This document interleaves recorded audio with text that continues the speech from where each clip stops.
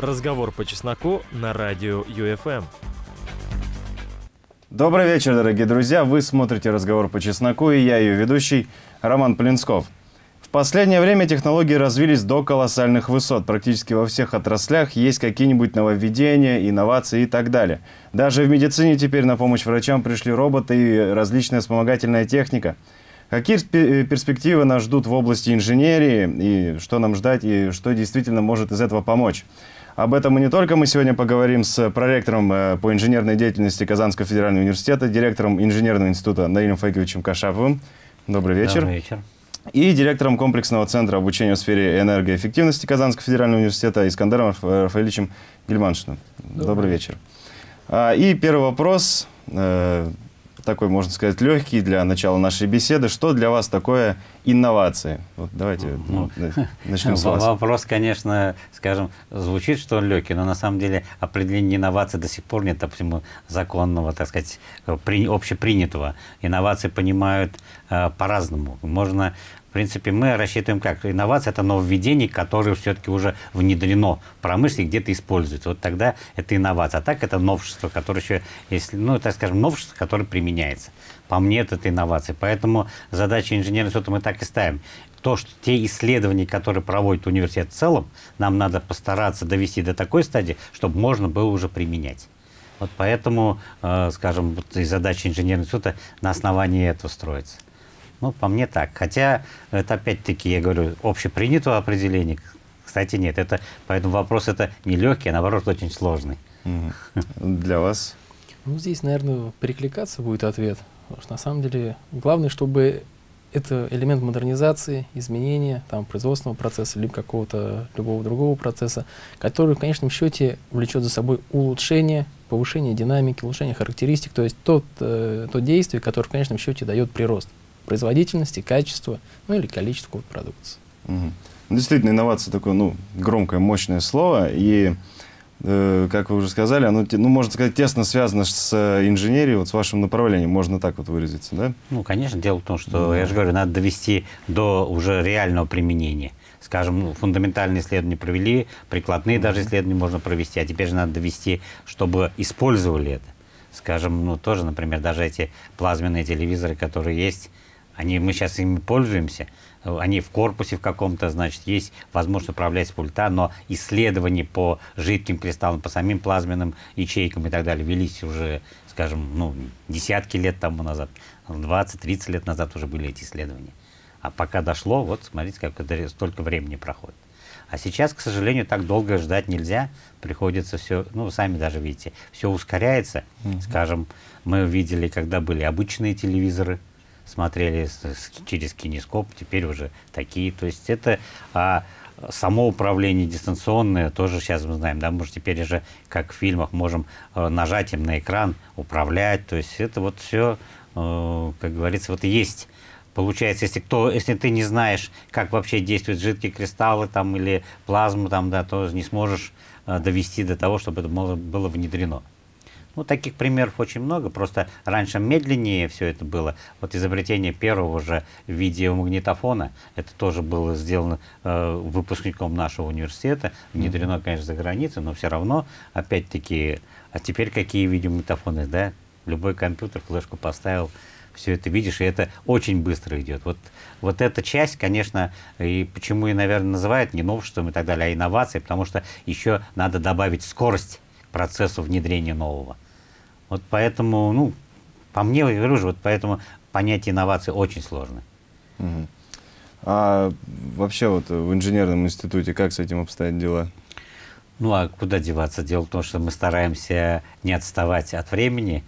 Вот недавно прочитал э, название э, семинара, который, или конференции, который банк проводит. Там написано, типа, опережая время, э, изменя, изменяя расстояние и так далее. То есть, конечно, звучит громко, и опередить время нельзя, время идет, оно всегда, допустим, и пространство тоже существует, так сказать, временно-пространственное э, понятие есть, не, но теперь все уплотняется, сжимается, мы это сами видим, поэтому нам приходится все как можно быстрее это делать.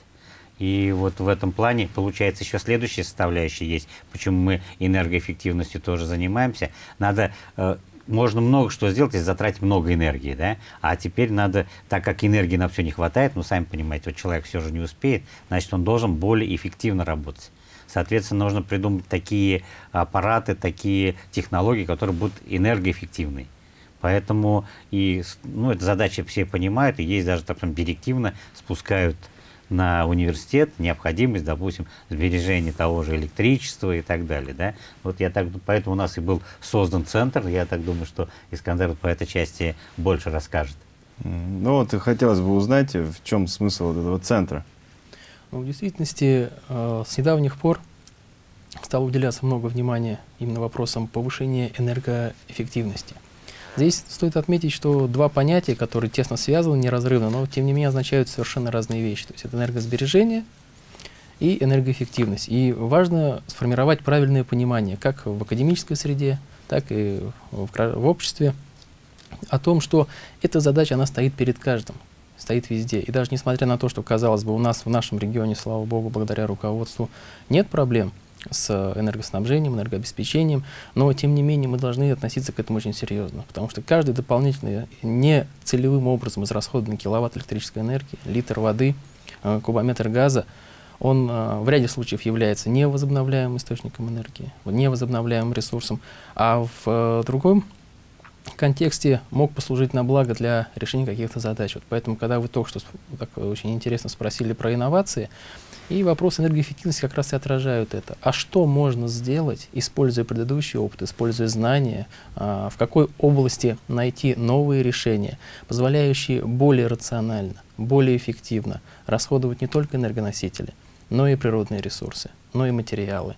Как-то постараться а, вторично использовать те ресурсы, которые у нас сегодняшние есть, для того, чтобы максимально много – а максимально качественно оставить для следующих поколений. Вот э, просуммируя все эти задачи, э, Министерство образования и науки приняло решение создать сеть э, информационно-образовательных центров э, на базе ведущих вузов э, Российской Федерации, э, федеральных университетов. И в соответствии вот с этой программой, приказом ректора в Казанском университете был открыт комплексный центр обучения в сфере энергоэффективности. Спектр задач достаточно широк. Это и от а, просветительских мероприятий, дополнительные образовательные программы, научно-исследовательская деятельность и э, методическое обеспечение мероприятий. То есть если сейчас формат позволяет, я, конечно, мог бы более подробно рассказать по каждому из них. То есть, э, в частности, по образовательным программам. Не так давно, в мае месяце этого года, а, совместно с Министерством образования и науки Российской Федерации мы провели Э, форум, седьмой форум Миноборнауки, посвященный вопросам энергоэффективности именно образовательных учреждений. Как справедливо Наиль Факевич сейчас сказал, что инженерный институт и вообще образовательная среда — это те организации, те инструменты государственные, которые формируют будущее, формируют будущих специалистов в разных областях, вне зависимости от того, будь то это медицина, робототехника, аддитивные технологии — а, так или иначе, каждый специалист на своем месте а, в процессе своей хозяйственной деятельности будет потреблять в том числе энергетические ресурсы. И в зависимости от того, насколько он сумеет поставить для себя приоритет рационального, именно ключевое слово не минимизировать свои потери, а рационально использовать каждую э, единицу энергии, и будет зависеть от того, а сколько мы оставим будущим поколениям, насколько конкурентоспособной будет наша продукция. Потому что не секрет, что литры, киловатты, все хорошо, но в сегодняшнем мире многое меряется экономическими мерками, рублями. Поэтому в зависимости от того, насколько оптимально, эффективно будет построено производство, во многом и будет определять его конкурентоспособность на рынке. Ну, здесь я просто хотел добавить, э, вот то, что мы говорим, это не новое, то есть это же понятно, да, вот, например, сейчас на днях, вот и даже сейчас еще идет, заканчивается э, международный форум по энергосбережению эффективности, который проводит республика, э, значит, в, на, на Вико. Я в этом плане, э, сейчас это в голову пришло, на открытие выставки было в 8 часов утра, э, Руслан Нургалевич пришел и открыл выставку. То есть это показатель того, что в 8 утра уже мы начинаем работать, потому что надо использовать эффективно весь промежуток времени. Он умудрился за это время встретиться и с руководителем э, белорусской делегации, там был с Калининградской области, потом провести заседание правительства. То есть вот именно энергоэффективность как раз в этом и есть. То есть правильное применение энергии, энергии и энергоэффективности приводит к повышению производительности труда. Всего этого. Поэтому понятие энергоэффективности мы видим шире. В этом может быть и инновационность. В этом, я говорю же, нас э, э, республика, конечно, опять-таки, надо сказать, именно благодаря этому, наверное, является и энергоэффективной. Э, мы видим те достижения, которые э, идут, в. Э, республика добивается. Это конечно, именно благодаря вот этим всем вещам, именно, именно эффективности, не то, что минимизировать, иначе можно до нуля, да, а главное эффективно использовать и желательно как можно больше, как можно больше продукции производить. Так что, по-моему, как раз и вот задача инженерного института э, в этом участвовать, mm. именно делать те технические решения, которые будут именно энергоэффективны. Вот отсюда, э, скажем, вот э, то, что Искандар говорил чисто по энергосбережению, э, это идет. И дальше вот мы уже развиваем, как было отмечено, и робототехнику, и аддитивные технологии. Конечно, можно и шире пойти, потому что инженерный институт еще имеет направление, связанное с биомедицинской инженерией, так как фундаментальная медицина и биология одно из основных направлений – в университете. Ну, ясно же дело, что нефти, нефти, нефтехимия а, это опять-таки тоже та же самая энергетика. То mm-hmm. есть поэтому мы в ней тоже а, работаем. Конечно, вот такая широта и универсальность инженерии вызывает иногда некоторые, ну, недопонимание, а в чё, чем все-таки должны заниматься инженеры, да? скажем, точнее, скажем так, инженеры в, в нашем университете, потому что есть, у нас есть КАИ, да, есть КХТИ, точнее, скажем так, правильное название, Казанский национальный исследовательский mm. технический университет, имени Туполева и Казанский национальный исследовательский технологический университет, это вот химический, да, то есть все они есть, они тоже занимаются этим, то есть они опять-таки на самом деле и энергоэффективностью занимаются, и внедрением инноваций тоже занимаются. Чем заключается вот наша специфика? Это тоже очень сложный вопрос. Именно мы, как говорится, все-таки работаем над, надо, наверное, такое определение дать, что фундаментальные основы инженерных наук.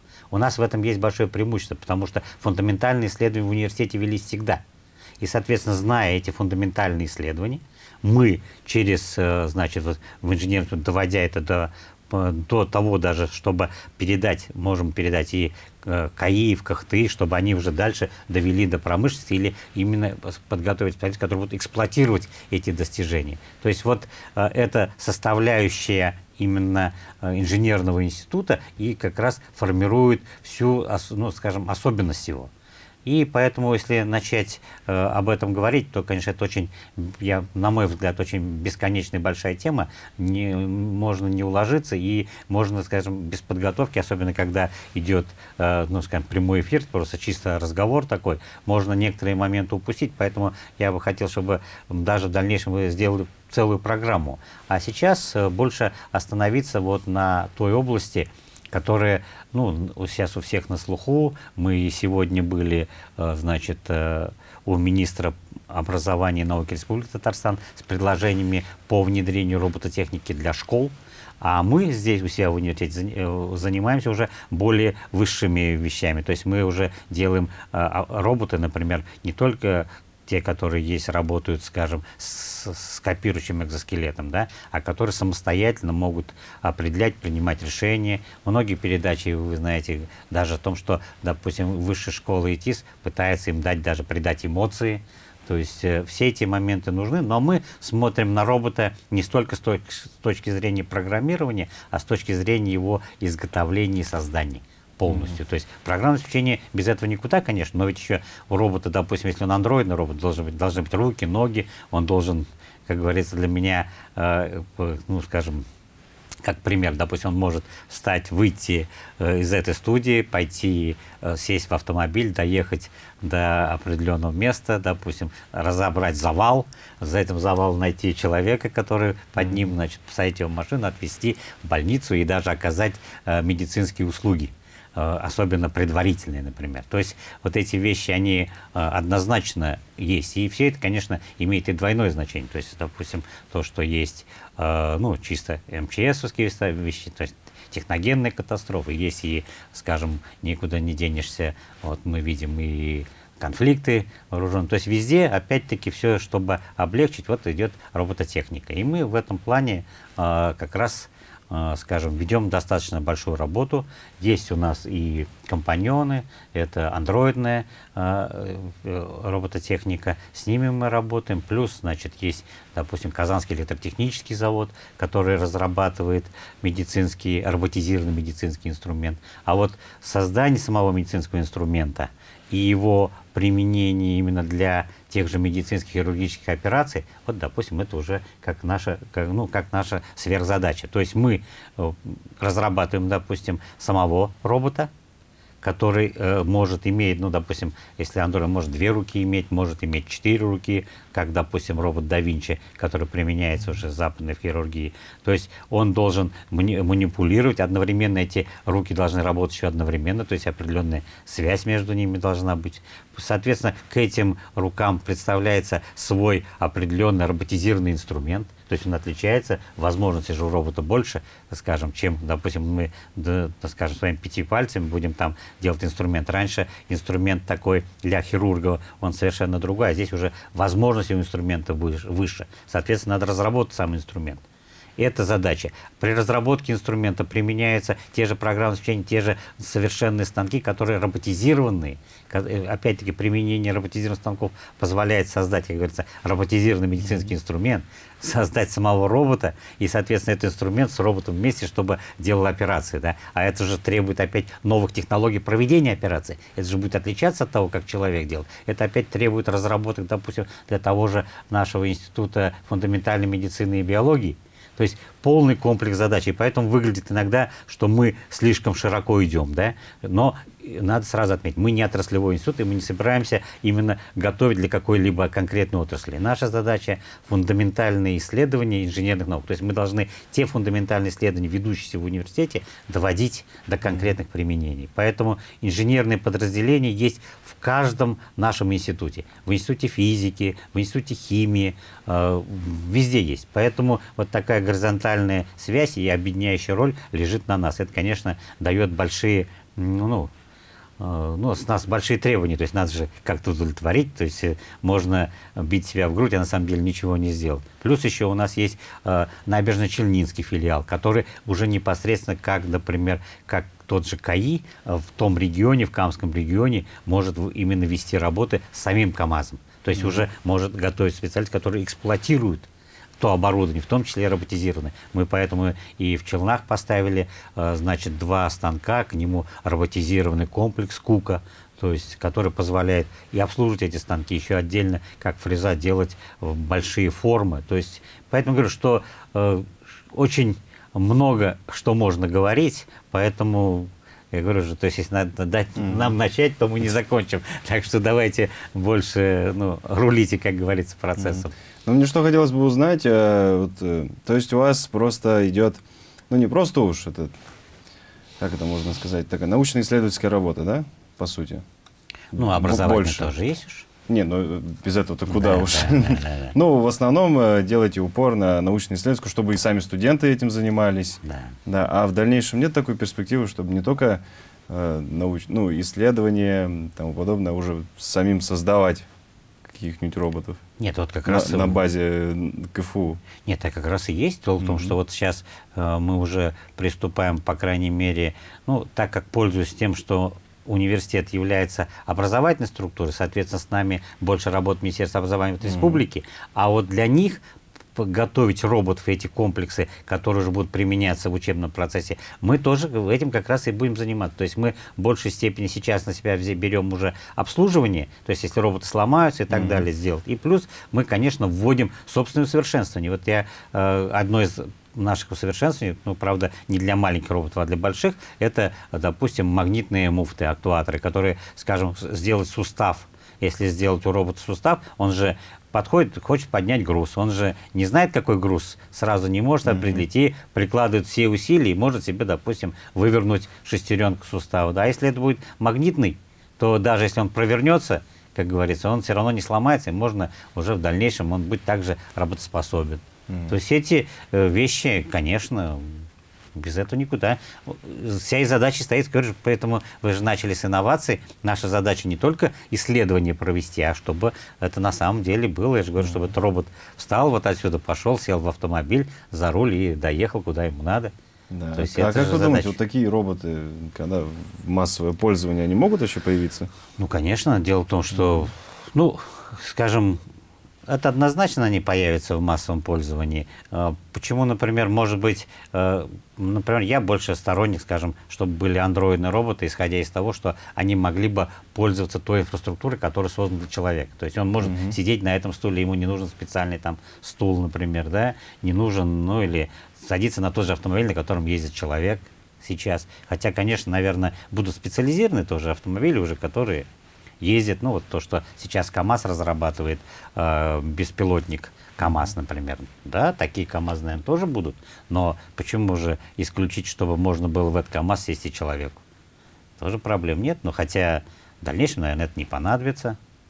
И э, здесь вот тоже опять очень большой вопрос, опять вот если все возвращать, упирается в энергетику. Скажем, вот этого робота, ему же надо какую-то энергию. Mm-hmm. Соответственно, вот э, мы когда говорим даже об использовании мусора и так далее, вот я хочу, Искандер, чтобы эту часть тоже открыл. Допустим, вот для того же робота нужно энергию. Как он может? Может он от, подпитаться от электричества, а может быть он может себе э, в рюкзак сложить мусор и пустые банки и так далее, и за счет биоразложения mm-hmm. получить энергию, идти дальше. То есть это тоже вопрос такой. Ну, вот как раз здесь и, и центр и занимается этими вопросами тоже. Хорошо. Ну да, Наиль Фагович анонсировал нашу научную деятельность, в том числе, помимо образовательной, центр наш занимается научно-исследовательской деятельностью, как я сказал.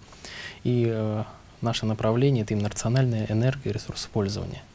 Здесь вот э, предвосхищая э, тот момент, что робот действительно, да, любой объект, любой объект, который формирует какую-то деятельность, он нуждается в энергетике. И вопрос в том, что сейчас э, в условиях, вот, в том числе раз, развитой сети электроснабжения, газоснабжения, Вопросы автономности, они выходят на передний план для подвижных объектов, в частности для роботов, роботизированных платформ, установок, то есть тех предметов, которые должны быть мобильными. И в действительности традиционные источники энергии, они не всегда доступны. Это если мы возьмем электричество, запас батареи он иссякает. Если робот уходит или устройство какое-то уходит на длительную автономную работу, он нуждается в подпитке. Причем схема, она здесь рассматривается разная и в мире, и вообще. То есть это и э, прямая переработка, это запас э, углеводородов, в том числе и возобновляемая альтернативная энергетика, чему необходимо уделять особое внимание, как в э, стационарной энергетике, так и в мобильной. И в частности, вот э, ключевым направлением э, нашего центра является это э, направление именно ресурсопользования, э, альтернативной энергетики и переработки отходов, энергетики из отходов. Потому что, в частности, в рядом с каждым населенным пунктом присутствует пункт складирования отходов, ну, свалка mm-hmm. по-другому, да. Естественно, она сама по себе, вот если с ней не проводить никаких мероприятий, представляет из себя, ну, мягко говоря, не самый комфортный не самую комфортную зону. А в завис... Добавок к всему, она еще и выводит из полезного обращения колоссальные площади. В то же время энергетика и э, ресурсы этого, этой точки складирования грубо отходов, они колоссальны. А, здесь и биогаз, то есть газ, который выделяется из тела полигона в процессе разложения определенных его элементов, он подлежит утилизации. Он нуждается в утилизации как парниковый газ, как сильнейший парниковый газ, но в то же время он несет в себе колоссальную энергию. И перерабатывая в энергетическом плане его, мы высвобождаем дополнительные мощности для другой положительной деятельности, а, вторичное использование ресурсов. То есть мы видим, что в развитых странах и у нас в стране большое внимание начинает уделяться возобновляемому, э, повторному, вторичному использованию ресурсов. Это бумага, металл, пластик. И в действительности это правильный подход, и здесь нужны новые решения, новые подходы. А в то же время, наработав технологию а, получения электрической энергии, тепловой энергии из а, стационарного источника, мы в то же время не забываем о том, что аналогичные подходы можно использовать и в подвижных объектах, автономных объектах. То есть, а, производя определенную селекцию, используя искусственный интеллект, роботизированная платформа, роботизированная площадка в состоянии сама селективно выбирать для себя возможные источники энергии, у себя на борту преобразовывать их и тем самым обеспечивать свою дальнейшую жизнедеятельность, обеспечивать свое увеличение срока автономной работы, что особенно важно, допустим, при разведке, при патрулировании границ. То есть здесь на самом деле э, перспективы колоссальные в условиях того, что платформа будет автономна максимально длительное время, причем ее автономность напрямую связана с массой. То есть запасы топлива мы не можем брать большие. Мы должны обеспечить, должны научить роботизированную платформу в условиях э, незнакомой местности ориентироваться, определять и перерабатывать подручные средства, получать энергию, тем самым продлевать срок своей автономной работы. Ну, мне вот очень понравилось насчет э, перерабатывания. как раз подумал, если действительно будут перерабатывать вот то, что у нас сейчас на свалках творится, мол, и можем сразу освободить такие, ну, достаточно большие территории, потому что по статистическим данным свалки-то уже больше городов стали, к сожалению. Вот. А хотелось бы перейти к э, такой интересной штуке, как э, интегративная биомедицина. Это вот новый этап развития КФУ 2016-2020 год, насколько я знаю. Надеюсь, я не ошибаюсь. Вот. И в чем смысл этого нового этапа? Ну, вот то, что мы, ну, конечно, этап-то, в общем вопрос больше у нас к Институту фундаментальной медицины и биологии, к их руководителям, mm-hmm. да. Ну, вы как и, Да, а мы связаны? просто мы участвуем, да, в процессе. Ну, однозначно связь такая. То, что, вот, допустим, э, ну, роботизированные комплексы, вот в первую очередь, это у нас для того, чтобы, я же, как, как уже говорил, с помощью роботизированного инструмента могли, чтобы делать определенные а, операции, манипуляции, то есть лечить, допустим, ну, чисто операции на человеке там и так далее. Диагностические вещи тоже могли делать самостоятельно. Но э, мы еще идем дальше, потому что все-таки, опять-таки говорю, что э, университет э, и инженерный институт занимается аддитивными технологиями.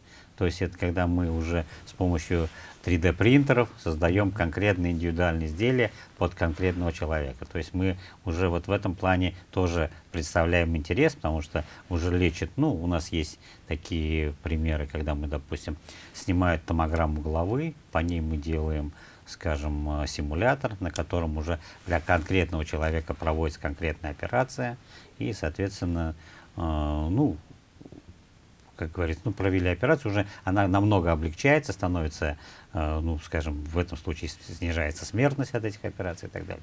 То есть эти вещи тоже есть, но говорю же, вот если теперь по этой части идти, вот, то тоже очень э, большой, большой целый пласт, над которым тоже работает университет и инженерный институт именно применительно к э, конкретным задачам, которые ставят, стоят уже в конкретной медицине. Вот опять-таки я же говорю, что например, это почему мы, допустим, к этим вещам пришли, то мы можем, скажем, заменить какой, ну, например, есть даже такие операции, вот сейчас работу мы ведем, когда при том, когда, допустим, сломан шейный позвонок, есть существуют механизмы, которые позволяют сдвигать шею, там, допустим, в двух направлениях, э, сделать какое-то определенное лечение, но уже сделав индивидуально Э, отсканировав человека, можно индивидуально сделать уже на 3D принтере, допустим, определенные его элементы. Ну, дальше идет там уже восстановление органов и так далее. То есть эта работа тоже, скажем, ну, большая, но я не очень хотел бы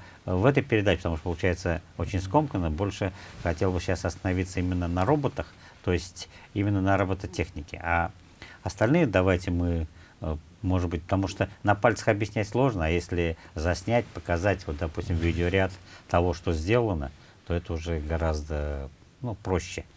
Потому что, ну, как объяснить на пальцах, там, что вот мы бы показали, как сняли томограмму, показали бы, а, значит, разрезы эти все, после mm-hmm. этого на компьютере все это делается, то есть э, в этом плане вот медицина, конечно, в большей степени эта часть. Ну, а роботы, мы рассматриваем их применение именно после, кроме того, что операция, уход за теми же больными, после, ну, допустим, тут есть вопросы, связанные с экзоскелетами, которые позволяют усилить mm-hmm. мощность человека. Тогда, допустим, человек, может один человек, допустим, переложить больного там с носилок на кровать. То есть из-за того, что уже у него появляется экзоскелет, позволяющий ему это делать. То есть и такие работы мы ведем.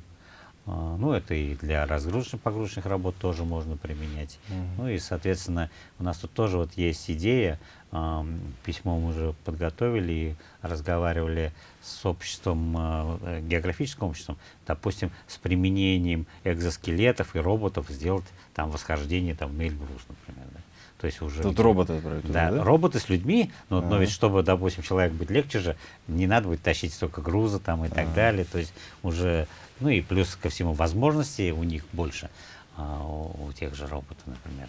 То есть эти вещи тоже как раз, опять-таки, вроде бы говорить, в чем, причем тут инженерный институт, но с другой стороны, вот как раз здесь и заключается инженерия. Надо же научить этого робота ходить по камням, по определенной, скажем, ну там, в- восхождении там и так далее, температурный режим. Все это надо посмотреть, компьютерное зрение должно быть. То есть без испытаний не бывает. И вот как раз инноватика наша, на моем понимании, чтобы вот именно довести до того, чтобы это было возможно. А не только там, допустим, он, ну, чисто программу написал, он может с угла в угол пройти, а дальше.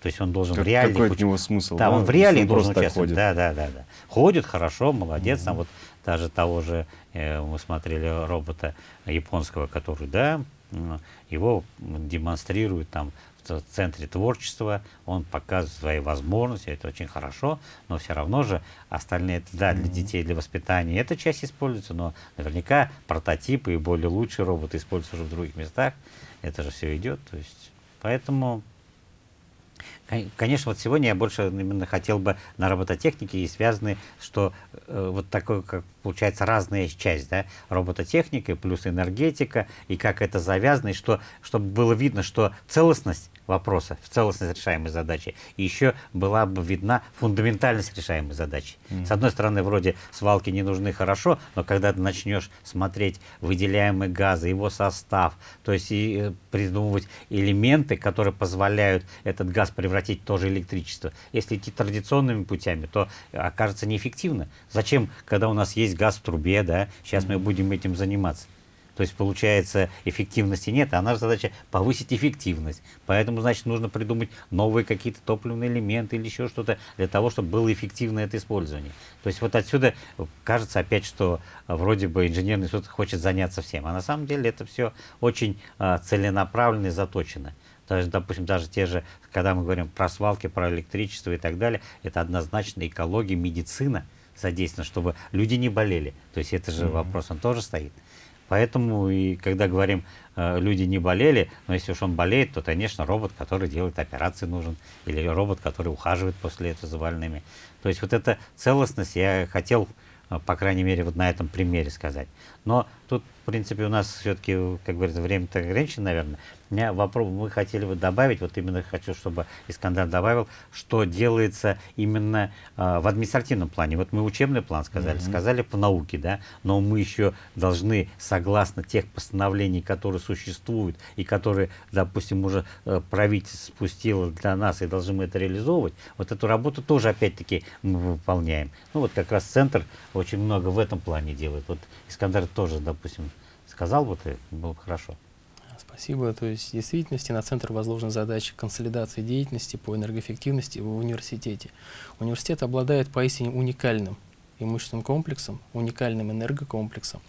И вот а, грамотное распределение ресурсов при повышении его энергоэффективности, при обеспечении надежной, бесперебойной и безопасной его фун- работе, функционированию, это одна из задач, которая в частности выполняется нами совместно с службами проректор по хозяйственной деятельности.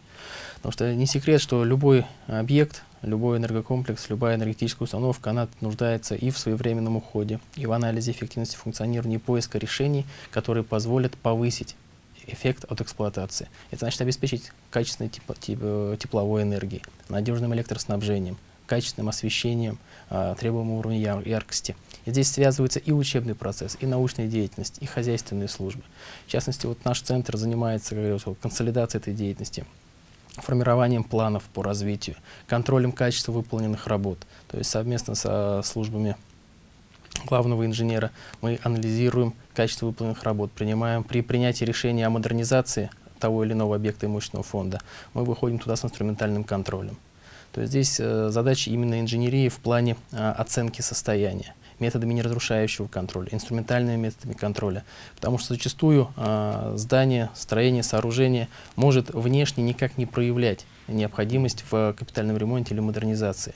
Внешне все хорошо, проведен капитальный ремонт или еще что-то. Но когда заглядываешь внутрь, когда анализируешь, выясняется, что в здании, в объекте, как в живом организме, все взаимосвязано. И если уделять внимание только одному из элементов энергокомплекса, допустим, тепловой энергии, если мы зажмем полностью потребление тепловой энергии, начнем экономить, показ показывать хорошие результаты, неизменно вырастет электропотребление. Потому что человеку нужна комфортная среда. И вот наш лозунг такой, что энергоэффективность это обеспечение комфортных условий работы, существования, жизни в условиях снижения суммарного потребления энергоносителей.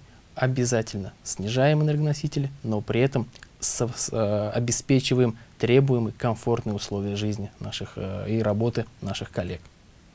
Ну, вот здесь все-таки добавлю, потому что хочу сказать, что э, эти вещи понимаем не только мы, то есть угу. это же существует 261 федеральный закон, да, существуют другие целые комплексы документов, которые это и требуют. То есть поэтому осуществление этого тоже, допустим, мы от этого не отказываемся, как инженеры, как инженеры, что беремся на себя эту часть тоже. Потому что понятно, что, скажем, службы главного инженера, там, э, они направлен на то, чтобы эксплуатировать. Ну, прорвалась труба, надо ее вовремя сделать, отрубили свет, надо вовремя включить. Но ведь нужно же проводить, опять-таки, есть очень много достижений фундаментальных, тех же программистов и так далее, да, которые уже есть, сделаны, а их же надо для них тоже довести. А вот как раз и мы на себя вот и взяли эту часть тоже. Потому что это просто совпадает однозначно с, с задачами инженерии. Вот и все. Поэтому я говорю, почему вот э, энергосбережение и эффективность относится к инженерии, именно исходя из того, что мы, кроме того, что чистую эксплуатацию, которую делают, э, скажем, главный инженер, э, группа под руководством проректора по ХЧ Ленара Стангалевича, да, э, кроме этого, мы вот как раз к ним подтягиваем те знания, которые есть у наших, допустим, ученых, у тех же физиков, у них есть же разработки, которые mm -hmm. позволяют. И вот это, вот эту, это соединение, опять-таки, задача инженерного института. Но, конечно, это не означает только инженерный институт это занимается. Само собой, в институте физики, радиофизики, которые есть, они напрямую тоже работают. Мы просто уже как администраторы организуем эту часть потому что и показываем, ведем этот учет и докладываем тому же Министерству образования и науки Российской Федерации, как мы это э, значит, решаем те задачи, которые нам поставлены самой администрации. Угу. То есть вот комплекс такой. Хорошо. Ну и последний, можно сказать, вопрос э, насчет сотрудничества. Интересно, с кем сотрудничаете, с кем работаете вот в таких сферах более плотно? Ну, допустим, скажем так, если смотреть в части разработки роботов и так далее, конечно, mm-hmm. мы в первую очередь работаем, вот как я уже говорил, с, андро- с андроидной роб- э, ОАО «Андроидная робототехника» называется, mm-hmm. это Магнитогорск. А, они достигли больших успехов в самом изготовлении, но мы им нужны именно в разработке и доработке их, их роботов. Угу. Затем есть э, такие системы, как уже Ценит, Точмаш там и так далее, которые уже чисто э, профилированы, то есть которые должны Э, уже задача чем отличается? Допустим, отраслевой, отраслевые не вузы, а отраслевые институты, которые доводят... На, раньше было как? Был у нас Академия наук, да, академические институты, вузы, академические институты, были отраслевые, которые mm-hmm. доводили, там, допустим, ну, конкретный станок, чтобы можно было изготавливать. Вот с ними работаем, вот как, такие, как Снит, Точмаш и так далее, да. Затем, э, это чисто вот в создании Потом, я уже говорил, завод, Казанский электротехнический завод, который мы с ним работаем именно в разработке роботизированного mm-hmm. медицинского инструмента. Ну, ясно, что по самому инструменту мы работаем, у нас есть такие предприятия, как Миртехника там и так далее. А вот по энергетике мы практически со всеми работаем, да, и с полигоном, да, да, то есть вот наших, э, мы наладили сотрудничество с э, СРО, профильными mm-hmm. СРО, СРО в области энергоаудита, это одно из крупнейших СРО Республики Луганского региона. А, проектное СРО для того, чтобы замкнуть круг задач, то есть не только выявить проблемный участок, но и дать конкретное предложение, каким образом его можно ликвидировать, как улучшить состояние. Вместе с этим мы работаем и с представителями реального сектора экономики, это в частности э, Павловская экологическая ЗАО КЭК, Казанская экологическая компания, это непосредственно экспериментальные наши работы на полигоне Казанском. Таким образом, в себе объединяем и исследовательскую часть, и реальный сектор экономики, и, соответственно, проектные работы изыскательские. Мгм. Ну что, большое спасибо за то, что вы сегодня мне рассказали. Для меня это очень было интересно. Жалко то, что Ну, не, наде- верим, не верим. все смогли э, обсудить. Я надеюсь, то, что мы еще раз увидимся ближе, к, можно сказать, к компании, это, приемной компании, чтобы заинтересовать еще людей. Мне больше интересно посмотреть будет в следующий раз, когда придете на роботов. Может, у вас Да. получится а, привести к нам в студию таких человечков, которые помашут нам рукой. Что ж, друзья, большое спасибо за внимание. Я напоминаю то, что сегодня у нас в студии а, были проректор по инженерной деятельности Казанского федерального университета, директор инженерного института э, Налиф Игоревич Кашапов и директор комплексного центра обучения в сфере энергоэффективности Казанского федерального университета Искандер Рафаильевич Гельманшин. Вам большое спасибо за то, что уделили нам время, за то, что так подробно все рассказали. Все-таки удалось что-то уместить э, в хронометраж нашей программы, но надолго не прощаемся. Я уверен, то, что еще увидимся. Ну а с вами, друзья, мы прощаемся ровно на одну неделю. В следующий четверг смотрите, как обычно, программу «Разговор по чесноку» в прямом эфире. Меня зовут Роман Полинсков. Увидимся. До свидания.